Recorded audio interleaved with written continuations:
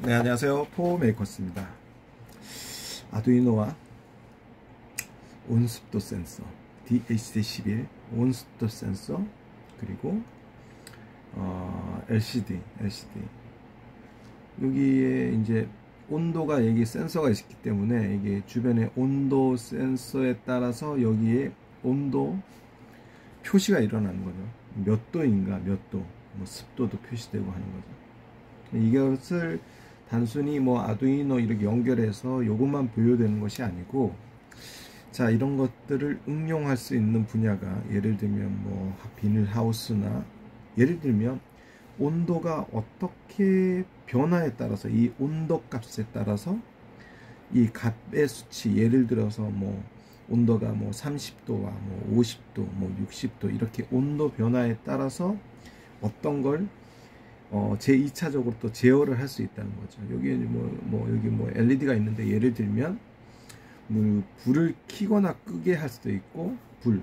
그러니까 LED라는 거죠. LED를 뭐 끄거나 켜게 하는 거. 아니면은 뭐 문이 열리거나, 문이 열리려면 뭐 모터 장치가 달려서 모터를 뭐 정방향으로 회전을 시키거나 역방향으로 회전시키거나 그렇게 해서 어, 하우스의 문이 열리거나 닫히게 하는 어떤 그런 그런 동작들을 할 수가 있는 거죠 이제.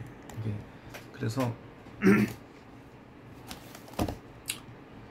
뭐 이게 그뭐 공장 자동화가 될 수도 있고 뭐 시골 농촌에 그 하우스의 문이 열리거나 닫히거나 하는 것들을 이 온도에 따라서 예를 들어서 어떤 식물을 키우는데 어떤 안에 온도가 너무 올라간다 너무 올라간다. 그러면 이 아두이노를 가지고도 뭐 예를 들면 그렇다는 거죠.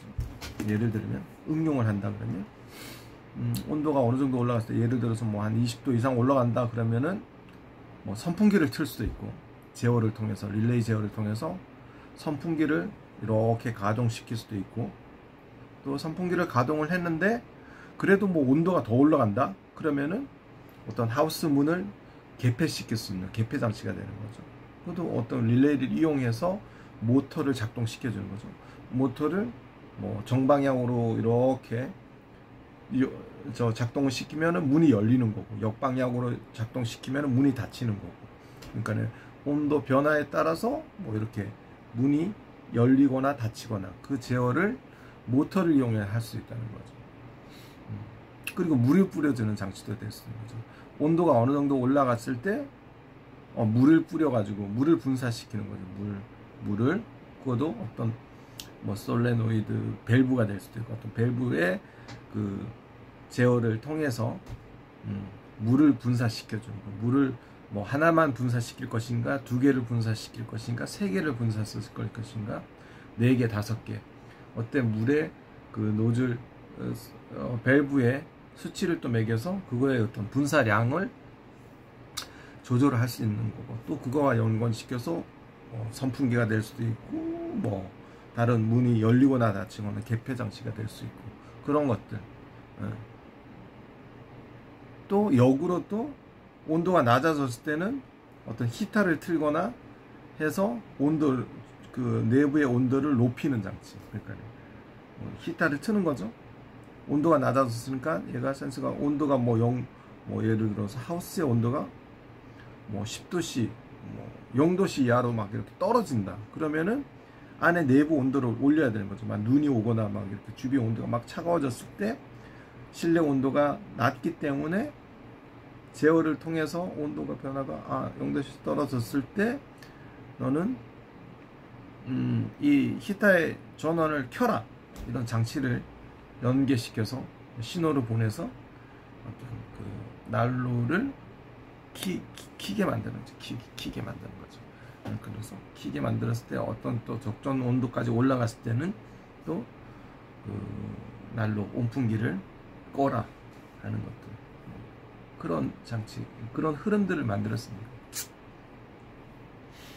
그런 거 공부하는 거 아닌가 생각합니다. 아두이노를 가지고 뭔가 이렇게 그 프로그램적으로 뭔가를 공부하는 것은 그런 것들 내가 어떤 센싱을 받아서 판단을 하고 키고 끄고 그것을 다양한 다른 기기들과 연관시켜서 계속 처음엔 요거 하나 근데 얘가 받았을 때 어떻게 얘가 봤을 때 어떻게 판단을 계속 릴레이식으로 판단을 릴레이 하는 거죠. 릴레이.